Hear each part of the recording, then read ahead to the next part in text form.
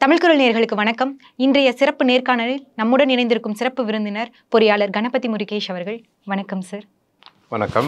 நம்ம இந்தியாவை பொறுத்த வரைக்கும் இன்ஜினியரிங் அப்படின்னா விஐபிங்கிற மாதிரியான ஒரு தவறான ஒரு புரிதல் இருக்குங்க சார் இன்ஜினியரிங் படித்தா சும்மா தான் இருக்க போகிறாங்க நீ ஏன்டா இன்ஜினியரிங் படிக்கிற? இந்த மாதிரி நிறைய பசங்க கிட்ட நிறைய டாக் வந்து போயிட்டே இருக்கும் சார் இந்த விதத்தில் இந்த சிவில் இன்ஜினியரிங் படித்து கலிஃபோர்னியா வரைக்கும் போயிட்டு ஒரு நல்ல ஒரு நிலையில் இருக்கிறீங்க. நீங்கள் நம்ம நாட்டு இளைஞர்களுக்கு சொல்லக்கூடிய ஒரு அவேர்னஸ் மாதிரியான ஒரு விஷயம் ஒரு ஒரு உந்துதலை கொடுக்க மாதிரி கொடுக்கக்கூடிய ஒரு கருத்தை என்ன சொல்லுவீங்க சார் வி வேலையில்லா பட்டதாரின்னீங்க இல்லையா? அதை அப்படி பார்க்கக்கூடாது நம்ம.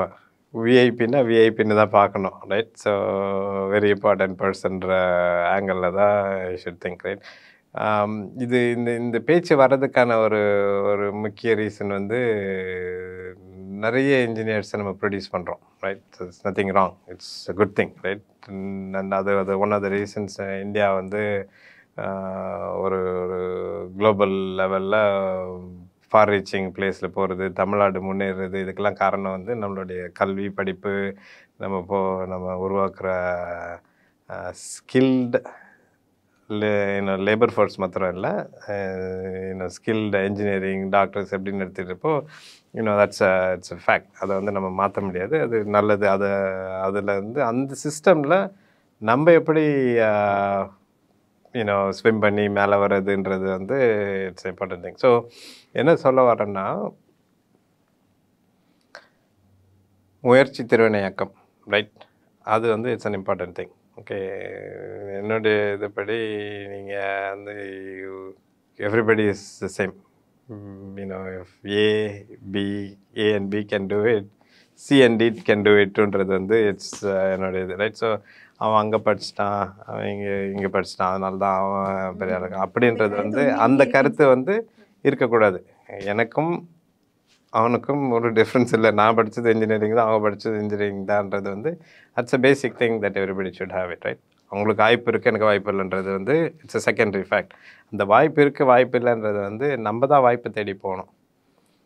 வாய்ப்புன்றது நமக்கு சிலருக்கு வரும். எனக்கு வந்து அது நிறைய இடத்துல வந்திருக்குது. ஸோ அதுக்கு நான் கடவுளுக்கு கடமைப்பட்டிருக்கிறது பட் அந்த வாய்ப்பை நம்ம தேடி போகணுன்றது வந்து இட்ஸ் இம்பார்ட்டண்ட் ஆஸ்பெக்ட் ஸோ எனக்கு வேலை இல்லை.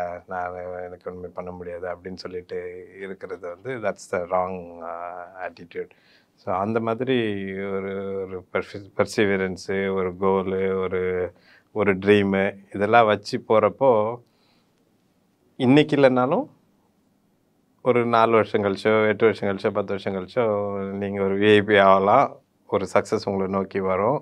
அது நீங்கள் அந்த சக்ஸஸை நோக்கி போய் சக்ஸஸ்ஃபுல் ஆகலான்றது வந்து என்னுடைய ஒரு ஒரு பேசிக் ஆஸ்பெக்ட் தட் எல்லாருக்குமே should should realize that okay so hard work is one perseverance is another having a dream is another thing எல்லாருக்கும் ஒரு கனவு கண்டிப்பாக அந்த கனவு இல்லைன்னா இன்னொரு ஒரு கவுனவர் அண்ட் தென் வாய்ப்பு நம்மக்கிட்ட வர டைமில் வந்து டேக் இட் ஏன்னா நம்ம யோசிப்போம் நம்ம இதில் தான் அப்படி தான் போகணும் அப்படின்ட்டு பட் உங்களுக்கு வேறு ஏதாவது ஒரு வாய்ப்பு வரும். ஒரு ஒரு பிஸ்னஸ் மேன் ஆகிறதுக்காகவோ இல்லை வேறு எதுக்கோ ஒரு வாய்ப்பு வரும்.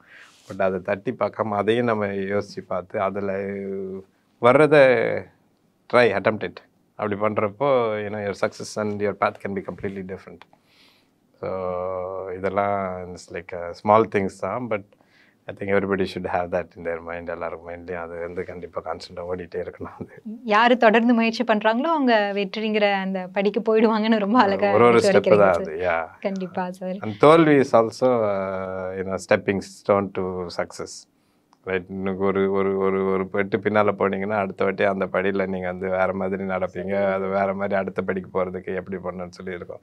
ஸோ தோல்வியும் தப்பாக எடுத்துக்கூடாது ஸோ அதுவும் நம்மளுடைய வளர்ச்சிக்கான ஒரு ரொம்ப அழகான விளக்கம் சார் இவ்வளோ பெரிய ஒரு இடத்துக்கு வந்திருக்கீங்க.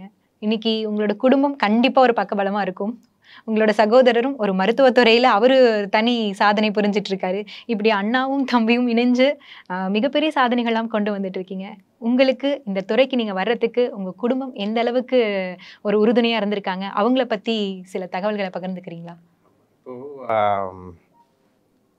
அப்பா வந்து அப்பா தான் எங்க என்னுடைய கிராமத்தில் முதல் இன்ஜினியர் ஆமாம் நான் தான் என்னுடைய முதல் கிராமத்துலேருந்து வெளிநாடு போன முதல் இன்ஜினியர் ஓகே என் தம்பி ஐ திங்க் மேபி இது first or second doctor okay but என்னென்னா இதில் வந்து பேரண்ட்ஸோடைய அவங்களோட இன்வால்மெண்ட் ரொம்ப இது. சரி நிறைய விஷயம் நம்ம நம்ம இருக்கிற சூழலை வச்சு தான் நம்ம யாருன்றது முடிவாகுது. அப்பா அம்மா கஷ்டப்பட்டாங்க. எங்கள் அப்பா நீங்கள்லாம் சென்னையில் இருந்து நீ இது உங்களோட படிப்பு கிடக்கூடாது எனக்கு ட்ரான்ஸ்ஃபர் ஆனாலும் நான் மாத்திரம் போயிட்டு போயிட்டு வரேன். நீங்களாம் சென்னையில் இருங்க அப்படின்னு சொல்லிட்டு சில சமயம்லாம் நான் பார்க்குறேன்னா அரக்கணுன்னா காலையில் ஆறு மணிக்கு வீட்டுக்கு ஆறு இல்லை அஞ்சு மணிக்கு வீட்டுக்கு போவார். நைட்டு பதினோரு மணிக்கு வருவார். ட்ரெயினில் போயிட்டு வருவார் ஸோ அந்த மாதிரிலாம் நான் அந்த அவங்க கஷ்டப்படுறத நம்ம பார்க்குறப்போ நமக்கு வந்து இது நம்ம சக்ஸஸ்ஃபுல் ஆகணும் இதாகணுன்றது வந்து it's an important factor so parents சைட்லேருந்து அவங்களுடைய ஆக்டிவிட்டீஸ் ஆர் வெரி இம்பார்ட்டன்ட் எனக்கு வந்து என்னுடைய அப்பா அம்மா வந்து நல்லா படிக்கணும் நல்லா படிக்கணும்னு விளையாட விட மாட்டாங்க வெளில போய். But it helps right so அந்த மாதிரி ஒரு ஃபோக்கஸ்டான ஒரு ஒரு பேரண்டல் சப்போர்ட் எனக்கு என் தம்பிக்கும் எப்பவுமே இருந்துச்சு. ஸோ தட் ஹெல்ப் அஸ் லாட்ட அது போக plus you know at some point வந்து யூனோ ஹூ யார் is you know who your you know your wife இஸ்ன்னு சொல்லுவாங்க இல்லையா? எனக்கு அந்த விதத்தில் என்னுடைய வைஃப் இஸ் பிக் சப்போர்ட் அவங்க she's business woman her cell she runs அவங்களுக்கு ஒரு கம்பெனி வச்சு ஷீஸ் ஷீ ரன்ஸ் இட்டு நான் இங்கேருந்து தனியாக ஒரு ரெண்டு மாதம் ஒரு மாதம் ரெண்டு மாதம் இங்கே தனியாக வரப்போ எல்லாத்தையும் மேனேஜ் பண்ணுறது அங்கே தான் மூணு பசங்க உண்டு எனக்கு. பெரிய இன்ஜினியரிங் படிக்கிறான் அங்கே யூனிவர்சிட்டி ஆஃப் கலிஃபோர்னியா பெர்க்லி அப்படின்னு சொல்லிட்டு அதில் வந்து electrical engineering and computer science இது நம்பர் ஒன் ப்ரோக்ராம் அது. ஸோ அவனும் ஹார்ட் ஒர்க் பண்ணி தான் அவனும் அங்கே இதுக்கு போயிருக்கிறான். அதே மாதிரி எனக்கு இன்னும் ரெண்டு பசங்க இருக்கிறாங்க. மூணு பேருமே தே ஒர்க் ஹார்டு ஸோ அந்த நம்ம அந்த அட்மாஸ்ஃபியரை நம்ம க்ரியேட் பண்ணுறோம் அப்படின்னா தென் தே ஆட்டோமேட்டிக்லி தே ஃபாலோ நம்ம ஒரு இருபது மணி நேரம் வேலை பார்க்குறோம் அப்படின்னா அதை பார்த்துட்டு இருப்பாங்களுக்கு they will also get motivated to do that and and keep keep everybody active என்னோட பசங்க மூணு பேருமே டென்னிஸ் விளையாடுவாங்க. ஸோ அவங்களோட மாதத்தில் ஒரு ட்ரிப்பு ரெண்டு ட்ரிப்பு வெளியூர் கூப்பிட்டு போவேன். சாக்க கலிஃபோர்னியா நேஷ்னல் லெவல் டோர்னமெண்ட்ஸில் விளையாடுறதுக்கு. அதில் மூணு பேருமே தேர் நேஷ்னலி ரேங்க்டு ஸோ அந்த மாதிரி you know like you have to give them the opportunity to learn learn is important இதில். அதில் என்னென்னா ஒரு ஒரு மேட்ச் விளையாட போகிறப்போ அதுலேருந்து how to come out of a tough situation life lessons எப்படி how to take a win how to take a loss இதெல்லாம் வந்து நம்ம காசு கொடுத்து யாரை வச்சு இது பண்ணாலும் you can teach those things so இந்த மாதிரி ஆப்பர்ச்சுனிட்டிஸ் வந்து நான் plus that I'm able to give to the kids and they're able to take it so family support structure is important தம்பிக்கு he has you know medical family wife doctor பசங்க ரெண்டு பேருமே their இந்த path to being doctors support system you have to you know keep them all uh, you know uh, integrated into the uh, you know global goal of being successful. California போன்ற மிகப்பெரிய ஒரு நகரங்கள்ல கூட மேம்பாலங்கள் கட்டி இன்னைக்கு மிகப்பெரிய சாதனைகளை பண்ணிட்டு இருக்கீங்க சார் உங்களுடைய இந்த சாதனைக்கு அடித்தளமா இருக்கக்கூடிய உங்களோட பள்ளி படிப்பு எந்த வகையில அமைந்ததுன்னு ஒரு தகவல் சொல்ல முடியுங்களா? ஒருத்தருடைய வளர்ச்சிக்கும் அவங்களுடைய கரியருக்கு ரொம்ப முக்கியம் வந்து கல்வி தான் அந்த விதத்தில் எனக்கு பல பாக்கியம் உண்டு. நல்ல ஆசிரியர்கள் நல்ல கல்லூரிகளில் படித்து நல்ல ஸ்கூலில் படித்து என்னோடய பள்ளி பருவம்னு பார்த்தீங்கன்னா சென்னையிலே தான் எல்லாமே. படித்தது எல்லாமே சென்னை தான். ராயப்பேட்டையில் ஸ்ரீ வெங்கடேஸ்வரா மெட்ரிகுலேஷன் அங்கே கொஞ்ச நாள் படித்தேன் அப்புறம் சக்கரவர்த்தி இன்டர்நேஷ்னல் சொல்லிட்டு சென்ட் தாமஸ் மவுண்ட்டில் ரெண்டு வருஷம் நைன்த் டென்த் முடிச்சுட்டு ப்ளஸ் டூன்னு பார்த்தீங்கன்னா வெப்பேரியில் saint Joseph's Anglo Indian boys higher secondary ஸ்கூலில் ப்ளஸ் டூ முடித்தேன் ஒவ்வொரு பள்ளியிலையும் நான் சொன்ன மாதிரி நல்ல ஆசிரியர்கள் நல்ல நண்பர்கள். பள்ளி பருவம்ன்றது வந்து ஒரு சிறப்பான பருவம். நல்லபடியாக அமைஞ்சிச்சு. என்னுடைய வளர்ச்சிக்கு ஒரு ஒரு இடத்துலையும் ஒரு படிக்கல்லாம் அமைந்தது பள்ளி பருவம். நீங்கள் இந்த இன்ஜினியரிங் படிக்கிறதுக்கான உங்களோட ஆர்வம் எங்கேருந்து ஆரம்பிச்சதுங்க சார்? ஆர்வம்னு பார்த்தீங்கன்னா என்னுடைய தந்தை வந்து சிவில் இன்ஜினியர் தான். தமிழ்நாடு பப்ளிக் ஒர்க்ஸ் டிபார்ட்மெண்ட்டில் சீஃப் இன்ஜினியராக ரிட்டையர் ஆனாங்க. நான் படிக்கிறப்போ எனக்கு இன்ஸ்பிரேஷன்னு பார்த்தா என்னுடைய அப்பா வீட்டில் எனக்கு ரெண்டு நானும் என் தம்பி ரெண்டு பேர் உண்டு. ஒருத்தர் இன்ஜினியர் ஒருத்தர் டாக்டர் ஆகணும் அப்படின்றது வந்து அவங்களுடைய விருப்பம். ரெண்டு பேரும் அது அமைஞ்சது. அதில் நான் என்ஜினியர் ஆகணுன்றது இருந்துச்சு. ஸோ ஏன்னோ இன்ஜினியரிங் துறையை பர்சியூ பண்ணேன். அதில் எனக்கு சிவில் இன்ஜினியரிங் மேலே ஒரு ரொம்ப ஒரு விருப்பம் உண்டு. ஏன்னா ஃபுட் க்ளோதிங் ஷெல்டர் ஒரு ஹியூமன் நீடுக்கான எசென்ஷியல் இதுன்னு சொல்லுவாங்க இல்லையா? அப்போ ஷெல்டர்ன்ற வரப்போ ஏன்னா சிவில் இன்ஜினியரிங் கம்ஸ் இன் அந்த சிவில் இன்ஜினியரிங் வந்து ஒரு கட்டிடத்துலேருந்து ட்ரைனேஜு வாட்டரு சூவேஜ் அப்படின்னு சொல்லி நீங்கள் எடுத்துகிட்டே போனால் பல துறைகள் சிவில் இன்ஜினியரிங்க்குள்ளேயே அடங்கும். எனக்கு அதில் ஒரு ஒரு ஈர்ப்பு சின்ன வயசுலேயே இருந்தது. வீடு கட்டுறதுலேருந்து அப்பாவுக்கு கொஞ்சம் ஹெல்ப் பண்ணிவிட்டு அதெல்லாம் பண்ணுறதுலேருந்து இன்ட்ரெஸ்ட் இருக்க போய் படிக்கிறப்போ சரி சிவில் இன்ஜினியரிங் படிப்போமே அப்படின்னு சொல்லி ஒரு ஆர்வம் இருந்தது. பட் சிவில் இன்ஜினியரிங் படிச்சுட்டு என்ன பண்ணுவோன்றது அந்த எண்ணமெல்லாம் அப்போ கிடையாது. நல்லா படிப்போம் நமக்குன்னு ஒரு கரியர் அமையும் அப்படின்ற ஒரு நம்பிக்கையோடு ஆரம்பிச்சது. நல்லபடியாக கரியர் வளர்ச்சி நடந்தது. அது பல விஷயம் கடின உழைப்பும் உண்டு. நமக்குன்னு ஒரு என்ன சொல்லுவாங்க? தலையில் எழுதியிருக்கிறது தான் நடக்கும்னு சொல்லுவாங்க இல்லையா? அதில் நான் ரொம்ப நம்பிக்கை இருக்குது. கடின உழைப்பும் சந்தர்ப்பம் சூழ்நிலையும் உங்களை ஒரு ஒரு திசையில் கொண்டு போவோம் அந்த மாதிரி என்ன நல்ல திசையில் கொண்டு போய் இன்னைக்கு ஒரு நல்ல லெவலில் இருக்கிற இன்ஜினியரிங் இதில் கண்ட்ரிபியூட் பண்ணிகிட்ருக்கிறேன் நான். ரொம்ப சிறப்பு சார் நீங்க இந்த சிவில் இன்ஜினியரிங்காக படிக்கிறதுக்காக நீங்க எந்த கல்லூரியை சார் தேர்ந்தெடுத்திருந்தீங்க? உங்களோட படிப்பு எந்த கல்லூரியிலிருந்து ஆரம்பிக்கப்பட்டது? எனக்கு வந்து காலேஜ் ஆஃப் இன்ஜினியரிங் கிண்டி அங்கே தான் படித்தேன் நான். அதாவது சிவில் இன்ஜினியரிங்க்குன்னு பார்த்தீங்கன்னா அதுதான் ஒரு ப்ரீமியர் இன்ஸ்டிடியூஷன் இந்தியாவில் ஆங்கிலேயர்கள் காலத்தில் முதல் முதல் சர்வே ஸ்கூலுன்னு ஆரம்பிக்கப்பட்ட கல்லூரி அது. நூற்றி இருபத்தஞ்சி இப்போ நூற்றி முப்பது முப்பத்தஞ்சு வருஷம் ஆயிருக்கும்னு நினைக்கிறேன். ஆரம்பித்து அதிலிருந்து என்ன சிவில் இன்ஜினியரிங்க்குன்னு பார்த்தீங்கன்னா இது ஒரு டாப் இன்ஸ்டியூஷனு அதில் கிடைக்கிறதுக்கான அதில் சேர்ந்து படிக்கிறதுக்கான வாய்ப்பு கிடைச்சதுக்கு அது ஒரு பெரிய கடவுளுக்கு நன்றி கண்டிப்பாக உண்டு. அங்கே படித்தது வந்து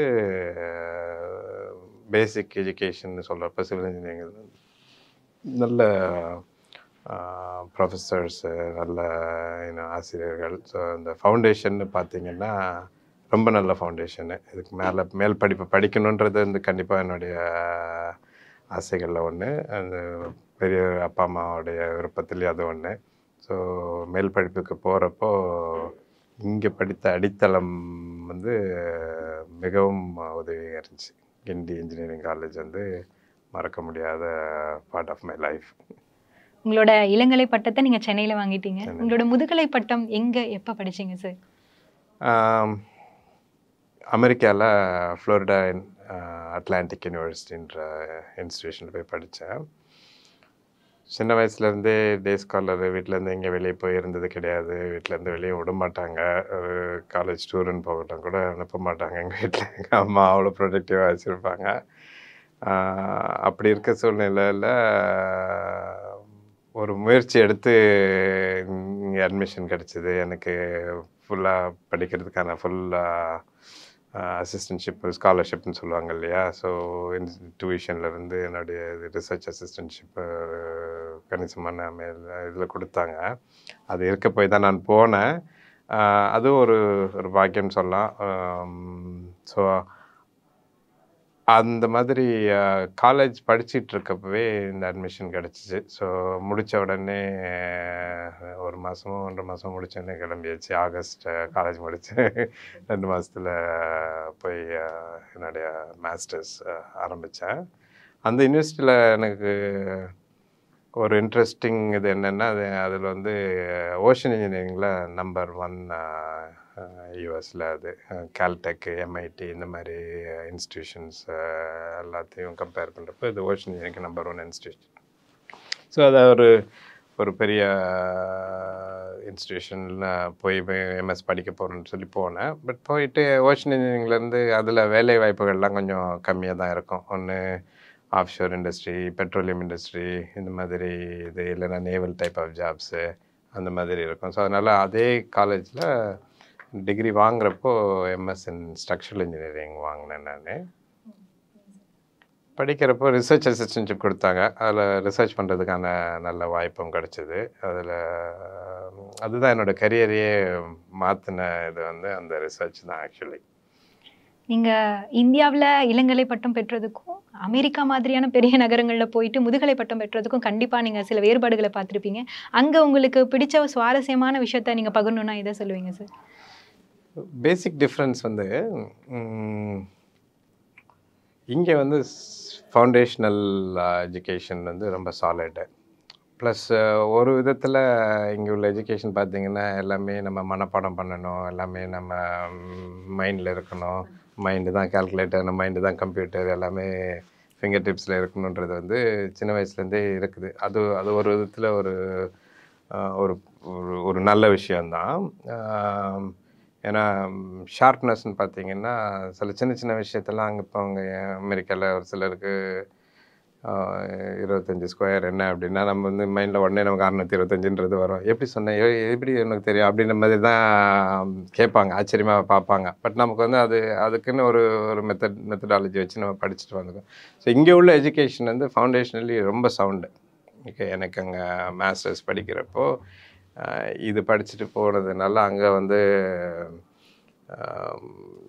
அதிக கல்வி தான் அது. பட் இருந்தாலும் இங்கே படித்ததுனால அது வந்து கஷ்டமாக தெரியல கடினமாக தெரியல.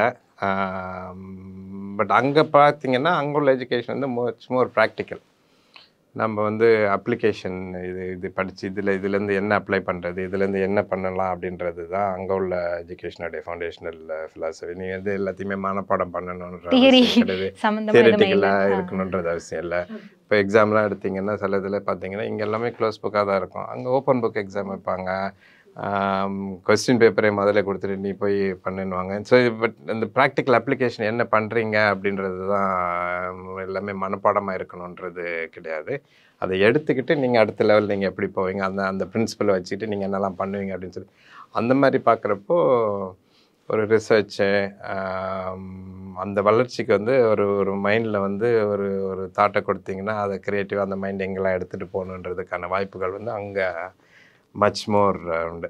இங்கே ப்ளஸ் um, ஒரு ஃப்ரீடம் உண்டு. இங்கே வந்து நீங்கள் ஒருத்தர் இருக்கார் ஒருத்தர்கிட்ட ப்ரொஃபஸர்கிட்ட இது பண்ணுறீங்க அப்படின்னா அவங்க அந்த அந்த மைண்ட் செட்டில் நீங்கள் இதெல்லாம் பண்ணுங்கள் அப்படின்னு சொல்லிட்டு அதுலேயே தான் கைட் பண்ணிகிட்டு இருப்பாங்க. அங்கே வந்து தே லெட் யூ ஃப்ளரிஷ் நீங்கள் உங்களுக்கு இந்த இந்த டாப்பிக்கில் நீங்கள் என்னெல்லாம் பண்ணலாம் அப்படின்னு நீங்கள் நீங்களாக ஒரு ஐடியா எடுத்துகிட்டு போனீங்க அப்படின்னா பண்ணு அப்படின்னு சொல்லி ஊக்குவிச்சு நிறைய பண்ணுறதுக்கான ஆப்பர்ச்சுனிட்டிஸ் நிறைய ஜாஸ்தி. மற்றபடி எஜுகேஷன் பார்த்தீங்கன்னா ரெண்டு two different systems both have their benefits both have their pluses and minuses ரெண்டுமே தேவைன்னு தான் நான் சொல்ல வருவேன் இப்போ இன்னும் என்னுடைய சக்ஸஸ்க்கு லாட் ஆஃப் இது வந்து இங்கே படித்த எஜுகேஷனோடைய இதுதான். இப்போ நம்ம you keep a sharp mind it's it's an important thing அது நீங்கள் புக்கை படிச்சுட்டு இப்போ பசங்க கால்குலேட்டரே இல்லாமல் எதுவுமே பண்ண மாட்டாங்க. கம்ப்யூட்டரே இல்லாமல் எதுவும் பண்ணாமல் அந்த மாதிரிலாம் இருக்கிற சுச்சுவேஷன் இருக்குது. ஸோ பேசிக் அண்டர்ஸ்டாண்டிங் சில இடத்துல இருக்கிறது இல்லை ஸோ பட் ப்ராக்டிக்கலாக பசங்க வச்சுக்கிறப்போ அது ஓவர் கம் பண்ணிடுது அந்த இது. சிறப்புங்க சார். ம். நீங்க கலிஃபோர்னியால இன்னைக்கு மிக முக்கியமான பொறியாளர்ல ஒருத்தரா இருக்கீங்க. உங்களோட இந்த கல்லூரி படிப்பு அமெரிக்கால நடந்திருக்கு. அதற்கிடையில உங்களோட பணி கலிஃபோர்னியால இருக்கு. இது எப்படிங்க சார் நடந்தது? சிவில் இன்ஜினியரிங்கில் எனக்கு இன்ட்ரெஸ்ட் இருக்குன்னு முதல்ல சொல்லியிருந்தேன். நான் படிக்க போனப்போ எனக்கு ஸ்ட்ரக்சரல் இன்ஜினியரிங் மேலே ஒரு ஒரு ஈர்ப்பு ஜாஸ்தி. ஸோ அதனால தான் அந்த ஓஷன் இன்ஜினியரிங்லேருந்து ஸ்ட்ரக்சரல் இன்ஜினியரிங் டிகிரி படிக்கிறப்ப அதை மாற்றிக்கிட்டேன் அப்போ வந்து எனக்கு ஒரு ஆப்பர்ச்சுனிட்டி நல்ல ஆப்பர்ச்சுனிட்டின்னு சொல்லலாம். ரிசர்ச் அசிஸ்டன்ஷிப் கொடுத்துருந்தாங்க. சும்மா வா வந்து இந்த காசை வாங்கிட்டு போய் இது பண்ணி அந்த மாதிரிலாம் கிடையாது. ரிசர்ச்னால் ஒரு டாபிக் கொடுத்து அதில் நீங்கள் ஒரு அது ஒரு வேலை மாதிரி தான் அது.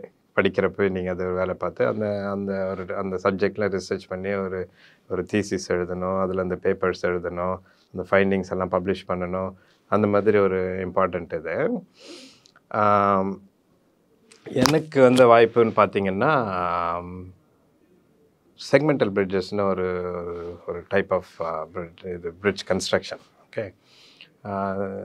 பேரில் இருக்கிற மாதிரி செக்மெண்டல்னா செக்மெண்ட் ஒரு பீஸ் அந்த பீஸ் பீஸாக இருக்கிறத வந்து ஒரு இடத்துல கொண்டு வந்து அசம்பிள் பண்ணுறது ஒரே இடத்துல இருந்துட்டு பீஸ் பீஸாக கட்டுறது ஒரு ஒரு பீஸாக கட்டிட்டு வர்றது. அந்த மாதிரி வந்து ஒரு ஸ்பெஷலைஸ் டைப் ஆஃப் பிரிட்ஜஸ்ஸு எதுக்கு அதை யூஸ் பண்ணாங்கன்னா நிறைய இடத்துல அது அப்ளிகேஷன்ஸ் உண்டு. இப்போ நம்ம சென்னையிலே எடுத்துக்கிட்டிங்க மெட்ரோ எடுக்கிறீங்க எல்லா இடத்துலையும் போடுற பிரிட்ஜஸ் முக்கால்வாசி அந்த செக்மெண்டல் பிரிட்ஜஸ் தான்.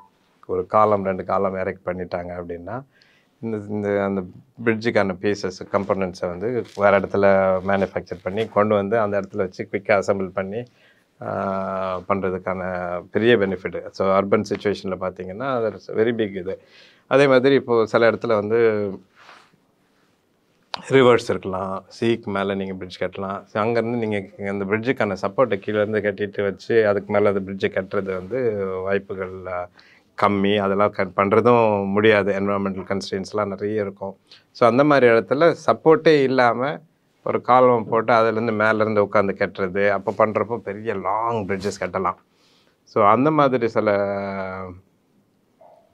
சில பெனிஃபிட்ஸ் எல்லாம் இருக்குது. ஸோ அந்த செக்மெண்டல் பிரிட்ஜஸில் வந்து நைன்டீன் எயிட்டி ஒனில் மயமியிலேருந்து யூஎஸோட சதர்ன் மோஸ்ட் ஸ்டெப் கீ வெஸ்ட்னு ஒரு இடம் இருக்குது. அது ஒரு ப்ராப்ளி ஒரு அறுபது மைல் இருக்கும்னு நினைக்கிறேன். அது சீரீஸ் ஆஃப் ஐலண்ட்ஸ் அந்த ஐலண்ட்ஸ் எல்லாம் கனெக்ட் பண்ணுறதுக்கு நிறைய பிரிட்ஜஸ் கட்டியிருந்தாங்க. இந்த பிரிட்ஜெல்லாம் எல்லாம் உயரமாக இருக்கணும்னு அவசியம் கிடையாது. லோ லெவல் பிரிட்ஜஸாக இருக்கும். பட் கடக்கணும். இந்த ஐலண்ட்லேருந்து அந்த அடுத்த ஐலண்டுக்கு போகணும்.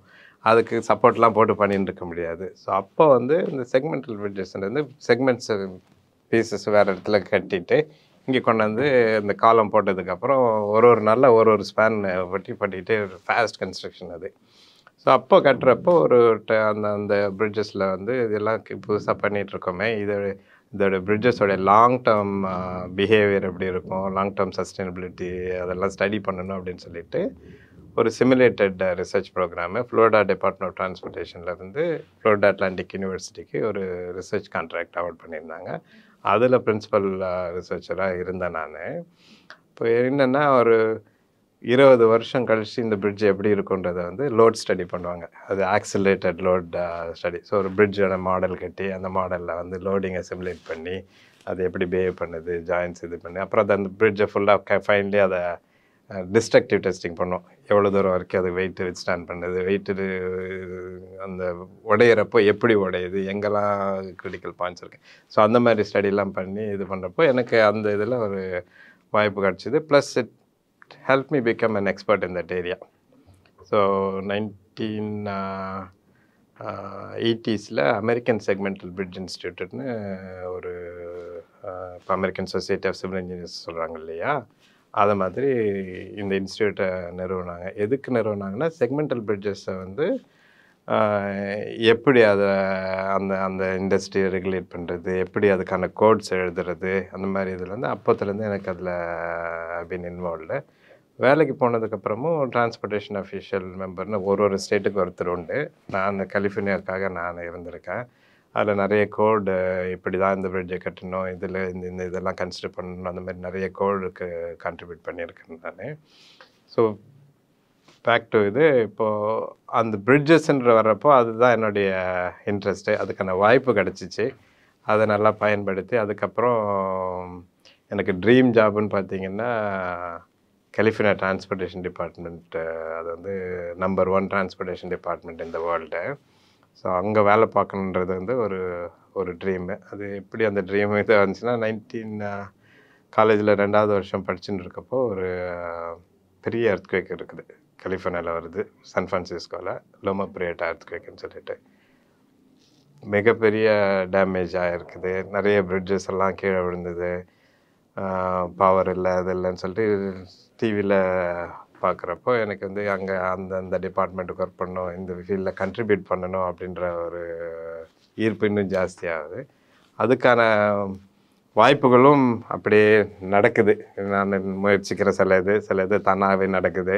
அப்படி அந்த மாதிரி வந்தது தான் என்னுடைய படிப்புலேருந்து வேலைன்னு பார்த்திங்கன்னா இந்த ஸ்பெஷலைசேஷன்லேருந்து இந்த டிபார்ட்மெண்ட்டுக்கு வேர்ல்டு ரெனவுன் டிபார்ட்மெண்ட்டுக்கு வேலை பார்க்கறதுக்கான வாய்ப்பு அது மூலியமாக தான் அப்படியே வருது எனக்கு.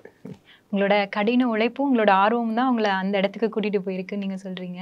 ரொம்ப சிறப்பு சார் கிட்டத்தட்ட ஐம்பதாயிரத்திற்கும் மேற்பட்ட மேம்பாலங்கள்ல கட்டின அந்த செயல்பாடுகள்ல உங்களோட பங்கு மிக முக்கியமா இருந்திருக்குங்க சார் அதை பத்தி உங்களோட கருத்து. இதில் வந்து ஒரு முக்கியமானது ஒன்று சொல்கிறேன் நான். கடின உழைப்புன்னு சொன்னீங்க இல்லையா? அது ஒரு இம்பார்ட்டன்ட் ஃபேக்டர் ரிசர்ச் ப்ராஜெக்ட்னு எடுத்துக்கிட்டிங்கன்னா இன்னும் டே நைட் பார்க்காம தான் வேலை பார்க்கணும். எப்போவுமே நைட்டு தூங்குறது மூணு மணி நாலு மணி ரிசர்ச்சு கம்ப்யூட்டர்ஸும் நிறைய இருக்காது. இருக்கிற கம்ப்யூட்டர் கிடைக்கிற கம்ப்யூட்டரில் வந்து உட்காந்து வேலை பார்க்குறது சில அந்த மாதிரி இதெல்லாம் நிறைய கடின உழைப்பு கண்டிப்பாக தேவை. இது போக ஒரு சில கேரக்டரிஸ்டிக்ஸ் வந்து இம்பார்ட்டன்ட் இது வந்து எதுக்கு சொல்ல வரேன் அப்படின்னா இப்போ உள்ள இளைஞர்களுக்கு வந்து இது ஒரு ஒரு ஒரு இம்பார்ட்டண்ட் ஆஸ்பெக்ட் எல்லாருக்குமே அது தேவை.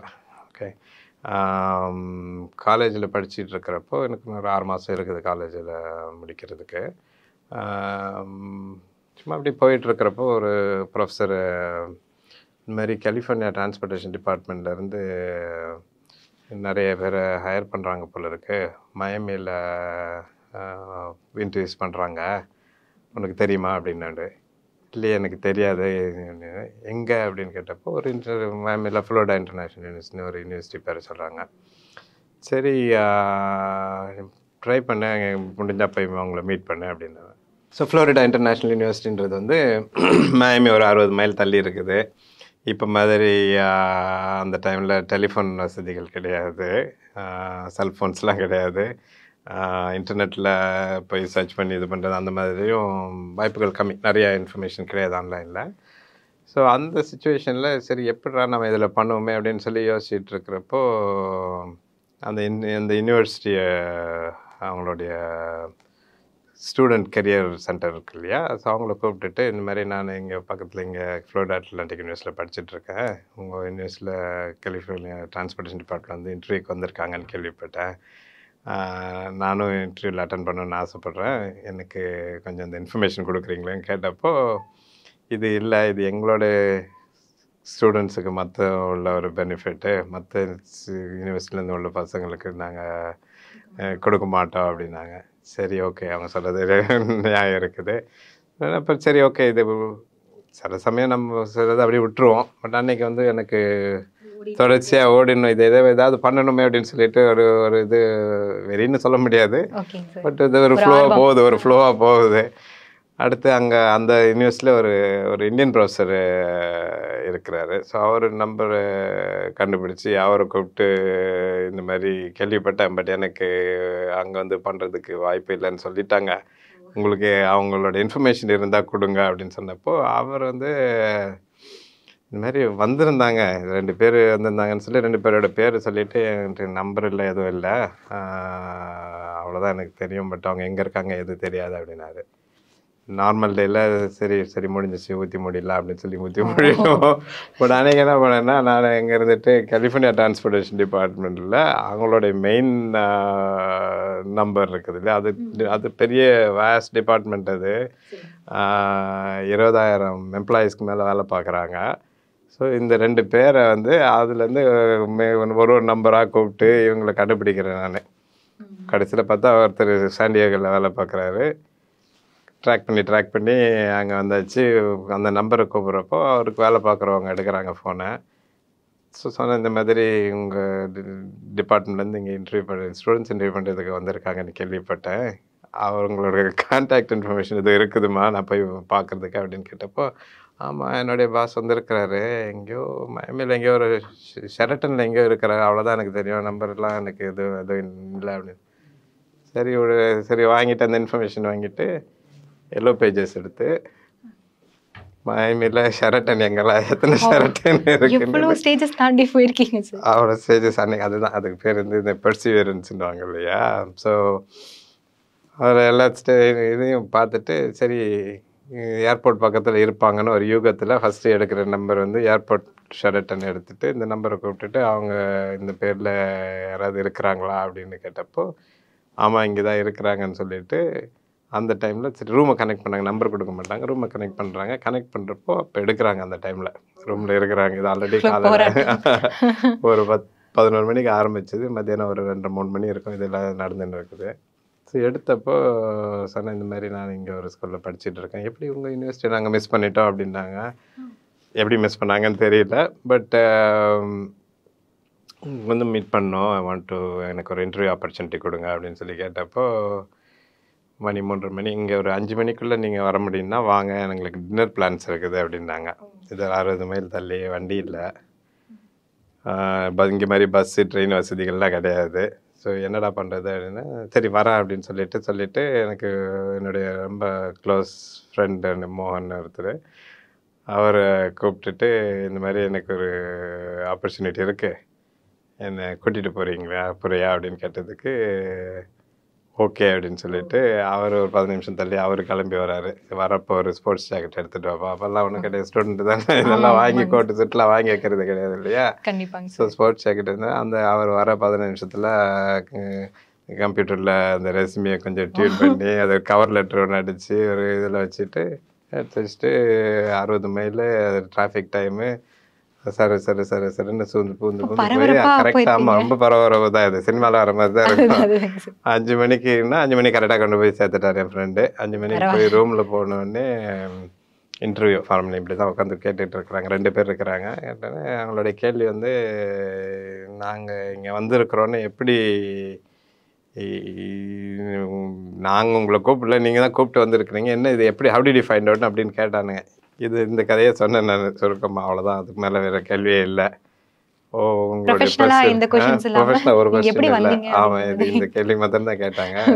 ஓ மை காட் உங்களுடைய பர்சிவியரன்ஸ் ரொம்ப அதிகமாக இருக்குது அப்படின்னு சொல்லிட்டு ரேங்க் ஒன்றுன்னு ஒரு ரேங்கை கொடுத்தாங்க.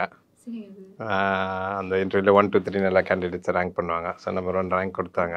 கொடுத்ததுன்னு ஒரு ஒரு ரெண்டு மாதத்தில் வேலையும் கிடச்சிச்சு. காலேஜ் முடிக்கிறதுக்கு முன்னாலே ஒரு வேலையோட சுற்றிட்டு இருந்தேன் நான். காலேஜ் முடித்த உடனே ஃப்ளோரிடாலேருந்து கலிஃபோர்னியாவில் சாக்ரமெண்டோவில் பிரிட்ஜ் டிபார்ட்மெண்ட்டு நீங்கள் சொன்ன மாதிரி அது ஐம்பதாயிரம் பிரிட்ஜுன்னு சொன்னீங்க இல்லையா? கலிஃபோர்னியா ஸ்டேட்டில் ஐம்பதாயிரம் பிரிட்ஜ் இருக்குது அதில் இருபத்தஞ்சாயிரம் பிரிட்ஜ் வந்து டிரான்ஸ்போர்ட்டேஷன் டிபார்ட்மெண்ட்டோடைய ரெஸ்பான்சிபிலிட்டி கீழே வருது. ஸ்டேட் ஓன் பிரிட்ஜஸ்ன்னு சொல்லுவாங்க. அது போக இன்னொரு டுவெண்ட்டி ஃபைவ் தௌசண்ட் பிரிட்ஜஸ் வந்து இந்த கவுண்டி சிட்டிஸ் அந்த மாதிரி உள்ள லோக்கல் என்டிட்டிஸ் ரன் பண்ணுற பிரிட்ஜஸ்ஸு இப்போ ஃபுல் பிரிட்ஜஸ்க்குமே பிரிட்ஜ் டிபார்ட்மெண்ட்றது வந்து சாக்ரமெண்டோவில் தான் ஹெட் குவார்ட்டர்ஸு அதில் வந்து நான் ஆரம்பித்தது வந்து டிசைன் டிபார்ட்மெண்ட் ஆரம்பித்தேன் அப்புறம் கன்ஸ்ட்ரக்ஷனில் கொஞ்ச நாள் வேலை பார்த்தேன். ஸோ அப்படியே ஒரு பிரிட்ஜ். பிரிட்ஜ் எக்ஸ்பர்ட் ஆனது. இதில் என்ன ரெண்டு விஷயம் என்ன படிக்கிற இளைஞர்களுக்கு சொல்ல வரேன் அப்படின்னா ஒரு கனவுன்றது வந்து எல்லாருக்கும் இருக்கிறது நியாயம்தான். பட் அந்த கனவு இருக்கணும். ரைட் நம்ம வந்து அந்த ஒரு எர்த்குவேக் நடக்கிறப்போ இந்த டிபார்ட்மெண்ட்டுக்கு வேலை பார்க்கணுன்னு அட்லீஸ்ட் ஒரு ஒரு ஒரு தாட்டு ஒரு கனவுன்றது வந்து வந்துச்சு. அது வர்ற போய் தான் அந்த அந்த தாட்டோட பர்சிவியரன்ஸ் தான். ஒரு கேஷுவலாக ஒருத்தர் இன்ஃபர்மேஷன் கொடுத்துட்டு போகிறப்போ கண்டிப்பாக இவங்கள்ட்ட போய் நம்ம ஒரு இன்டர்வியூ வாங்கி ஒரு ஒரு வேலை வாங்குறதுக்கான முயற்சி எடுக்கணுன்றது வந்து செகண்ட் அது இந்த இது இம்பார்ட்டண்ட் ஆஸ்பெக்ட்டு மூணாவது ஆஸ்பெக்ட் வந்து இது பெருமைக்குன்னு சொல்லலை. ஒரு இது வந்து ஒரு தடைன்னு வந்து எல்லா இடத்துலையும் வரும். அந்த தடையை வந்து தாண்டி அடுத்தது நம்ம இது இதுக்குன்னா இதுக்குன்னா ஆல்டர்னேட்டிவ் நெக்ஸ்ட் என்ன பண்ணணும் நெக்ஸ்ட் என்ன பண்ணணுன்றது வந்து ஒரு ஒரு ஒரு பர்சிவரன்ஸ் இருந்தால் தான் அதை பண்ணுவோம். ஸோ அது வந்து இட்ஸ் இம்பார்ட்டன்ட் ஏன்னா வந்து லைஃப்பில் வந்து ஆப்பர்ச்சுனிட்டிஸ் வந்து knock your door you have to grab it இங்கே கிராப் பண்ணல அப்படின்னா வேறு யாருக்காவது அந்த ஆப்பர்ச்சுனிட்டி கிடச்சிட்டு போவோம் ஸோ அது வந்து இட்ஸ் அன் இம்பார்ட்டன்ட் இது. என்னுடைய லைஃப் லெசன் அது. ஐ வில் டெஃபினெட்லி என்னுடைய பசங்களுக்கெல்லாம் always I say these things உனக்குன்னு நீ ஏன் ஒரு ஒரு கோல் எடுத்துகிட்டு போகணும்? அது வர்றப்போ தடையில் வந்துச்சுன்னா முறிச்சு அதை அதை எப்படி அதை முறிச்சு போகணுன்றது வந்து ஆல்வேஸ் அது யோசிச்சுட்டே தான் இருக்கணுன்றது வந்து it's important aspect of individual growth. கண்டிப்பாங்க சார். இன்னைக்கு தமிழ் குரல் நேயர்களுக்காக உங்களோட அழகான நேரங்களையும் இந்த கருத்துக்களையும் எங்களுக்கு தெரிவிச்சதுக்கு மிக்க நன்றி சார். எனக்கு இந்த வாய்ப்பு அளித்த தமிழ் குரலுக்கும் அழகான கேள்விகள் கேட்டவங்களுக்கும் என்னுடைய மிகுந்த நன்றி தெரிவித்துக் கொள்கிறேன்.